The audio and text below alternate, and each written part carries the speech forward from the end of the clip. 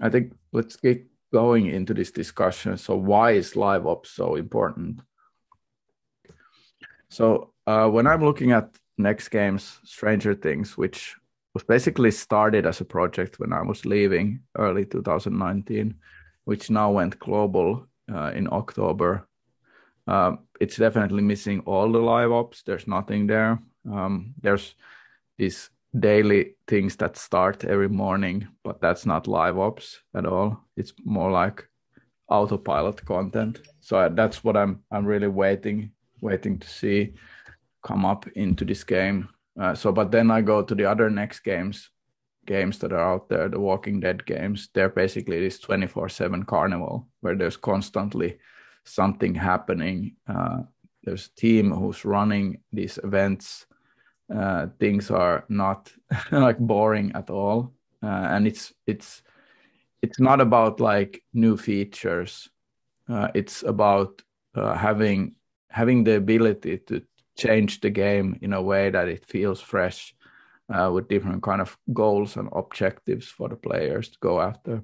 Why is live ops so important? Well mostly because the user acquisition costs will only go up for your game uh, so why is that happening? I think it is because you your game becomes more known through the channels that you're acquiring these users that it's harder to find people who yet haven't clicked on your ad to download versus what it was before and like when you do user acquisition for several years it, it becomes more and more harder even though you refresh the user acquisition creatives uh, to make make it feel more fresh to entice people to maybe try your game again, it still will create this uh, cost of UA like going up and up. So you need to increase lifetime value of the players. Otherwise, you never will be coming back to the ROAS positive. So like this from last time when we had this workshop, I was talking a lot about the the ROAS and the profit that happens after you have 100% return on the ad spend from the players. Uh, but then if you, I, I, think this is what what the no live ops means um, is that the ROAS just doesn't increase anymore after a certain amount of playtime. Like you're playing for three, four months, and then uh, like the game just isn't interesting enough, or maybe it's just like a grind where it doesn't feel like meaningful to spend money anymore. So developers need two things. They they definitely need more players constantly joining the game. It, you're you're churning people out, but you want the existing players to be staying and spending. So like why doesn't an autopilot game usually work? This was something that I remember when I was at Supercell uh, doing they were doing Clash of Clans, Hay Day. There was no mentality for live ops, none there were of course these like morning you know login calendars whatnot but that's not real live ops.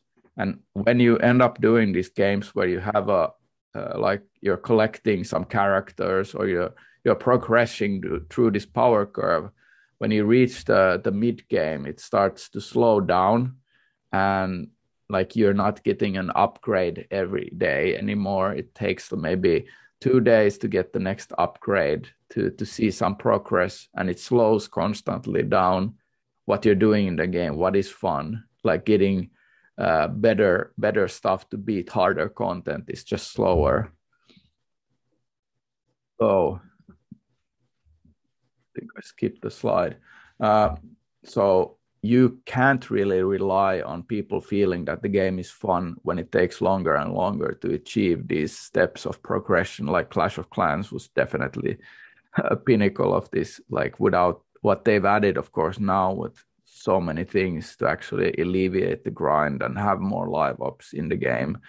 Uh, at first it was pretty pretty brutal to wait for four days to your upgrade to finish. First you need to upgrade your town hall to level 11 which takes two weeks and like it, it wasn't fun um, and th- this is not what like like people who who really can bring ROAS in 2021 can afford to do. So there's two modes for live ops. I, I would say it's called passive and active. So passive is about this, you know, you launch the game in the morning, and there's new things to do. Uh, like there's automated things. Maybe you have the trophy road that you're going after, which resets every month. Uh, you have a login calendar. You have daily quests, game modes that uh, give you stuff. These are fine, but these these uh, only get you so far.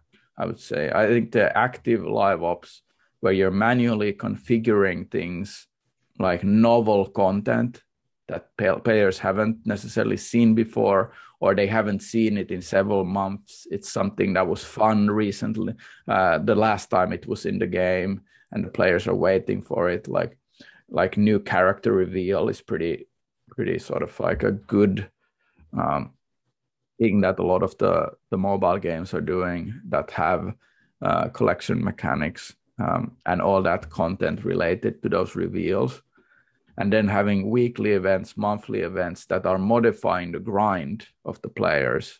Uh, if you have players at the end game sticking around like it's pretty boring to to grind away with the characters to get to the next level. Um, and then for sure like the the changing of these IAP bundles of having like interesting combinations of things that you can get for like let's say 10 euros or 20 euros where it's like not one item uh, but let's say five different items and it's available only for for one day one day or something so yeah why do you need these both um, let's go first to Marvel Contest of Champions, which is, I think, one of the the best uh, old games that have been like just evolving constantly, adding new things. Like they have passive live ops, these modes that don't really uh, have anything to do with what's going on this month, but it's rather like, okay, this is this is the thing that you do every morning.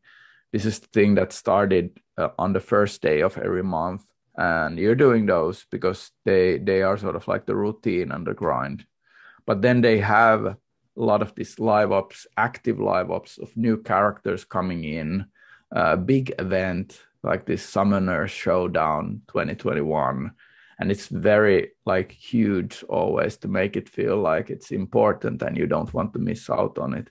And then they have game mode specifically for for these events running where it is like the basic gameplay here is it's a beat 'em up street fighter kind of game this marvel contest of champions. And you have a map where you go through missions to progress to, to the end point of that saga map whatever it's called in in these games uh, and they use the same technology they just give you different different opponents uh, something related to the event.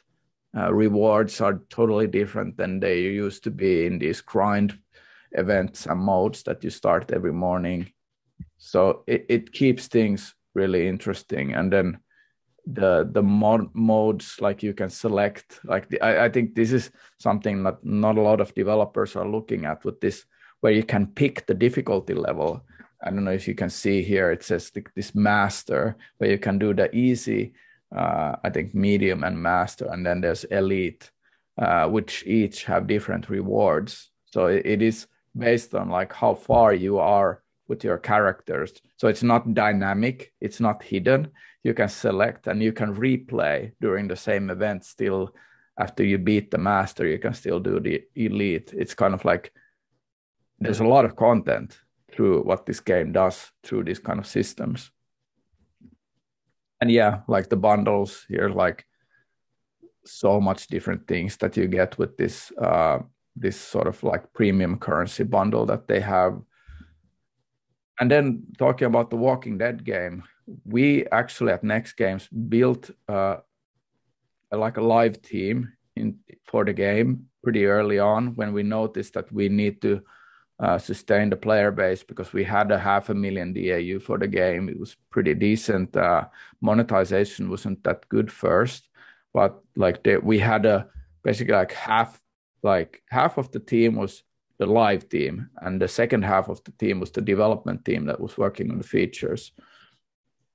So we built passive live ops systems there where you had weekly challenges, things like that, like uh, automatically opening these offers when you return to the game. Like you had the starter pack, mid, mid, high, high, very high. Like depending on if you bought this, like first one was like two ninety nine, and then then it was I think seven ninety nine going up from there with like also having daily offers, event based offers, and then the events like something meaningful constantly happening there. And we had this trade goods shop, which was kind of a system where you could buy items with in-game currency. Uh, it it was it, all of this was fun. It was very much like automated that it was running there constantly every day, refreshing things to come back to uh, I, I think like the the active live ops that we did then was more about these kind of like big calendars. Like this was uh, uh, where you collect like items like these tokens in the game, and then you get these rewards. And this was lo- like this wasn't running every month. It was more or less like uh, every once in a while we would bring something like this into the game where you could get really cool unique items from um, and then talking about space ape uh, it's a london based developer that has done these uh, uh, build and battle games a lot they've now since supercell bought them they've also done other games recently like the Beat Stars, this music game and then they have the Boom Beach uh, game coming out as well. But I would say they have really pioneered live ops in in gaming. So they they launched this game called Transformers Earth Wars, I think 2000 end of 2016 or early 2017, and they had already been perfecting live ops with uh, Samurai Siege, which is at the bottom left here, and then Rival Kingdoms at the top right corner, and then uh, the Transformer games there at the bottom right was sort of like the third iteration of them doing this Clash of Clans clone. Uh, but that was like they weren't really innovating in the core gameplay. They were they were more innovating on the live ops side of things. So like if you look at the Transformers game from 2018 till now, like three years later in 2021, uh, they have managed to create a really stable game. This is like what the revenue looks like on a, I think a monthly monthly basis. Uh, so they're still making like a million a month with the game, uh, even though like none of the like competitors in the Clash of Clans genre have made like huge money, but they have really sustained the game really nicely. Where they have, I think, five thousand DAU, uh, fifty thousand DAU uh, 4,000 new downloads every day, and they're keeping their players spending and playing. So they have a really lean live ops. They have a lot of uh, material online about like how they do these things. So when the game is live, they have a small live team set up, which doesn't create new features at all, but it's more about like utilizing your existing game to create more content there uh, that doesn't require new feature development. So they have three things the treadmill, which is the content creation, where it's more like art, characters, toy box. How do you get that content to the players, which is the event systems? And then the team is the people who are doing this uh, thing and they're learning what it takes. Uh, so they they constantly keep themselves knowledgeable about what's going on. They learn about the game. They spend time in Discord uh, forums, meeting players, have like VIP clubs where they're talking with players, really getting to know what it what is in their players' heads. Um, so I think they in in one material that I read about them is that they they figured out that the promise for their live ops is that in Transformer Earth Wars uh, the players want to collect all the transformers. So that is kind of like a promise. Um, but like just collecting without having any any gameplay around it would be pretty boring. You still are motivated through like you know going forward in the game making your bots more stronger to beat harder content to again uh, collect more uh, bots to to beat harder content so that that drives the loop pretty well here so like let's talk about the event cycle how do they release a new transformer? Is that the new new bot character is released but it's not available yet. So at but at some point they turn on this event where you need to grind like crazy and the reward for the event is a new character. Uh, there's like all sorts of difficulty things that come up like uh, in the event so not everybody will get it because they don't just have uh, the right team yet to to get to this like highest level to get the bot but then when the time limited event goes away uh, the character isn't available anywhere um, only the people who manage to get it from the event uh, are playing with it. So there's like a break uh, for this certain character not being a- available. But then a few weeks later, they start offering the character through IAP bundles where you have a special gacha that has a chance for this character. So it's you still can't directly buy it or get it. You still need to do some work to do it. And then it disappears again. You can't get the character from anywhere. Um, and but then appears again. And now it's like a, a premium gacha pool where uh, you can basically like get it for sure, like as a lower level or something. But then at least you get it. And then again, you can't get it for a while. So constantly, all of these events, what they're doing is creating attention for something that is scarce that is something that you want to jump on it's fresh you want to do it now because it's there and then like a few months later this new bot is added into the regular circulation where it becomes available from basically all the gachas in the game and then uh, the free players can also get it basically for the first time ever but it, it, took like months to get there and it still of course like relies on you grinding and doing the gacha pulls to, to get it. Um, other events they they have all these kind of collaborative events where uh, the groups, the guilds can do stuff together where they participate and earn points, which are tallied up, and then something comes up. This is something we did as well in uh, in Walking Dead games at Next Games, where we were just counting up people killing walkers, the zombies, and then we were showing them to players that if you reach this level, then we will add this thing into the shop basically for one diamond or something and it drove up engagement like crazy when you have these things going on uh, and then these leaderboard events where you have a leaderboard where the top ranked players will get a reward like five star shards to draw a gacha or things like that. These are like when you have the system in place you can run this indefinitely. You can do a new character reveal you can do a special like leaderboard event you can do these collaborative events and you're refreshing constantly what's going on in the game so why are these great? Because it's it's so cheap to produce but it's so fun to the players if done right. And this this is how like the transformer transformers game which i believe has like four people working on it is still making uh, 12 million every year for for space ape. So more live ops examples from other games. I think like I won't I won't show any now because I think like the best way to do this research is for you guys to to play some of these older mid-core games, any of them, and you can spot a lot of interesting things and observations of how developers run live ops in these games.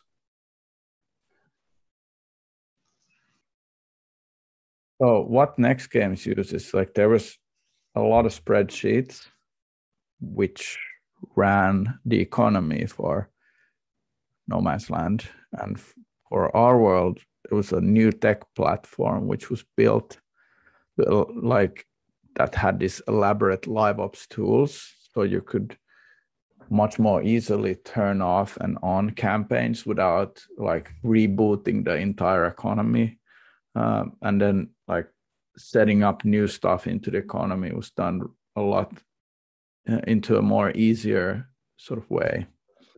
And like i mentioned already that the, the team was split between the feature development team which was four to six people and then there was the live team which was four people.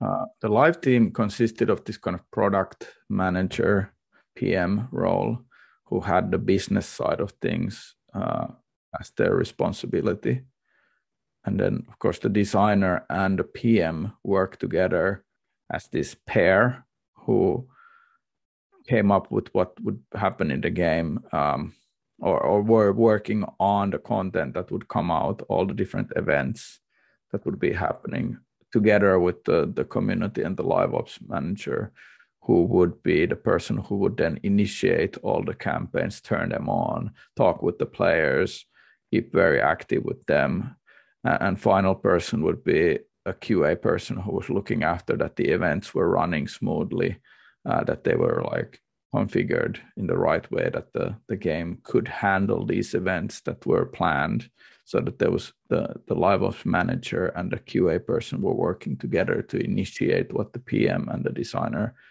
uh, sort of the broad strokes that they they brought in so yeah i, I think building the live ops teams hiring side uh, was very crucial to have skills in their own field but also this ability to collaborate across disciplines so that it would be like the team would be basically doing all sorts of things together so that they needed to know like uh, what everybody else was knowing. So, so, that was the benefit of having such a small team that everybody could be on top of everything.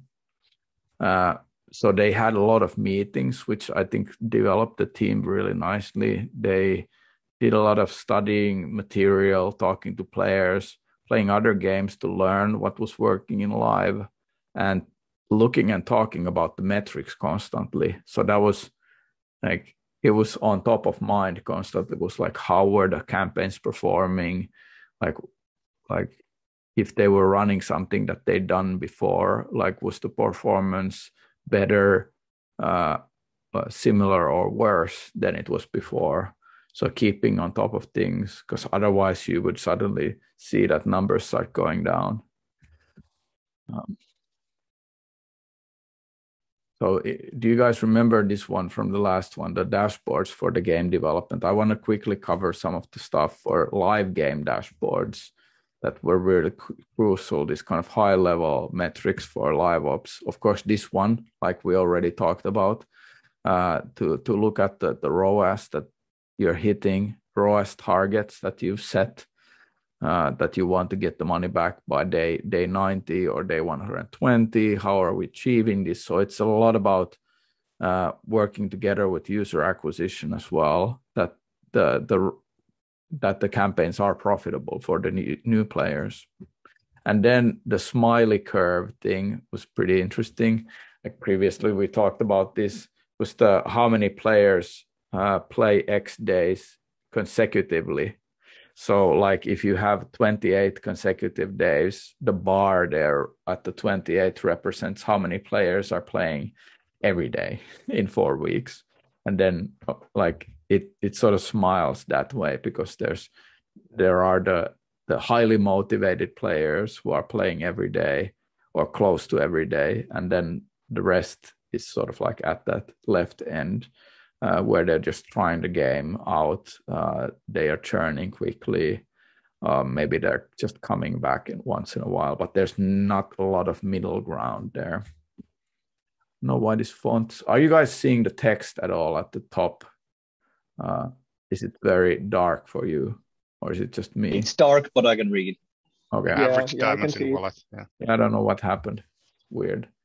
It worked this morning. Um, but yeah, but this this was one of those things the player wallet uh, average diamonds in wallet uh, very important to look at like the median because then you're taking away the crazies who are just hoarding uh, and and you get you get more like stable numbers.